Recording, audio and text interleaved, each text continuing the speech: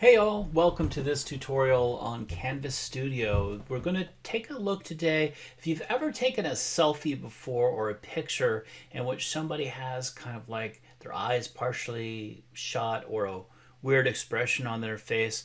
Well, in Canvas Studio, sometimes when you record a webcam picture that's got your picture, the thumbnail that Canvas Studio chooses is not always the most flattering.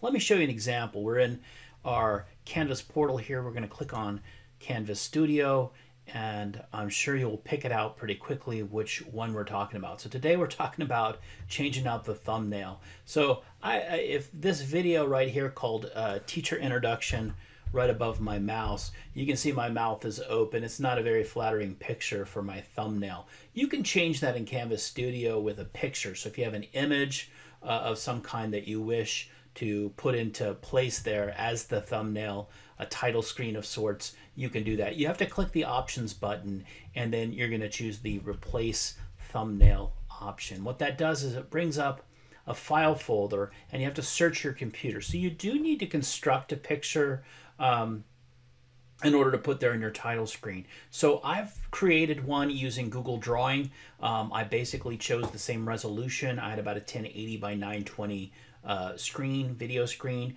And so I created that in Google Drawing. And so I'm going to go and pick that out. And I'm going to choose my welcome video by Mr. Roberts PNG. That's what I saved it as. So you can pick an image. Uh, again, it needs to be uh, close to the resolution of your video. I'm going to click open.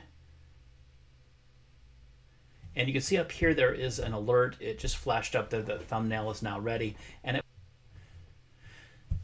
so here above my mouse, you can see that it's cut off a little bit here in the thumbnail. It looks better when you go into the video and you take a look at the video and the video, um, sort of the studio, the viewing room. So let's go ahead and click the view button and you can see what I mean here. So the, there is a bar that runs across it here, but you can see that that fits the screen because I've matched up my resolution. So anyway, if you're interested in, in, in putting in uh, sort of splash screens or title screens or changing out awkward sorts of um, thumbnails, that's how you do it. Uh, thanks for your attention and time, and I look forward to seeing you in the next video.